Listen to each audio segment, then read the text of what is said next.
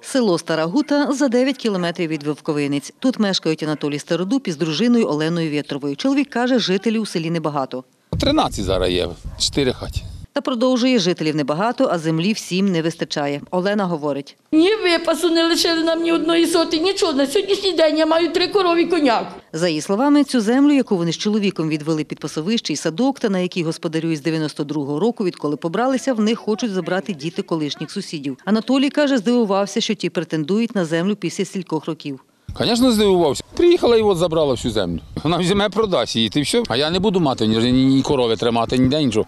Оце, що мене заберуть, де я буду пасти. Стосовно того, чи мають право нащадки селян на спадщину, майно й землю, хмельницька юристка Орися Підвальна пояснює. Якщо на спадкоємця, наприклад, було рішення видано селищною радою про виділення цієї земельної ділянки, тоді спадкоємці можуть, звичайно, е, е, поновити своє право на спадщину через багато років, визнати право власності вже в порядку спадкування на дану земельну ділянку. Звичайно, що люди, які просто нею користувалися, якби е, юридично на неї права не мають. Анатолій продовжує, люди з села виїжджали, обійстя продавали чи віддавали. Одне таке, каже, купили й вони. Показують розписку колишніх власників та квитанції зі сплати земельного податку. Олена говорить, саме вони, на її думку, мають право на цю землю.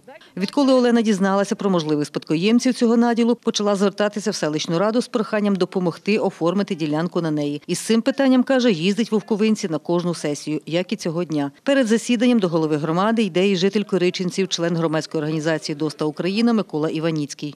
Я відстоюю інтереси учасника бойових дій. Е, Він е, проживає в місті Хмельницькому.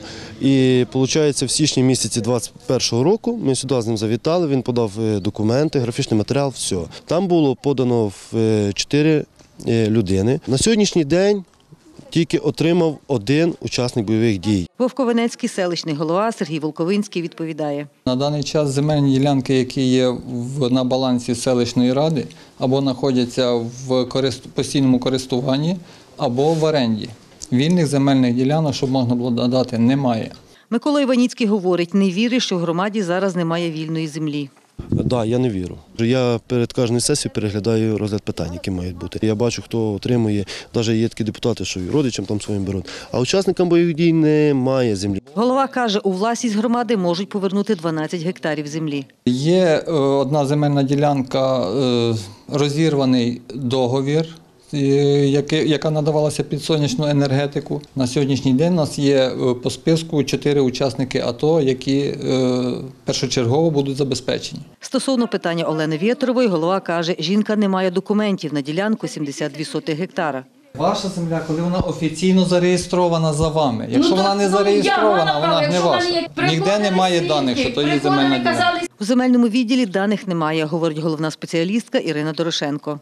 Особисто мені е, про ці документи невідомо нічого. Документи вони е, мають здаватися в архів. Олена запевняє, виготовила документи для оформлення наділу та староста Людмила Главацька каже, їх попсувала. Виготовлена була технічна документація, вона має печать, поміняла викопіювання в тій технічній документації. Староста Людмила Главацька звинувачення відкидає. Нічого я її не переписувала. Не знаю, чи в неї була технічна документація, чи не я її не бачила. Якщо в громадянки були документи, вона їх може відновити. Єдиним органом, який може встановити, хто має право володіти землею, її спадкоємці, котрі 30 років тому виїхали з села, чи подружжя, яке впродовж 30 років цю землю обробляло, є суд, говорить юристка Ореся Підвальна. Світлана Поробок, Дем'ян Цегольник. Новини на Суспільному. Хмельниччина.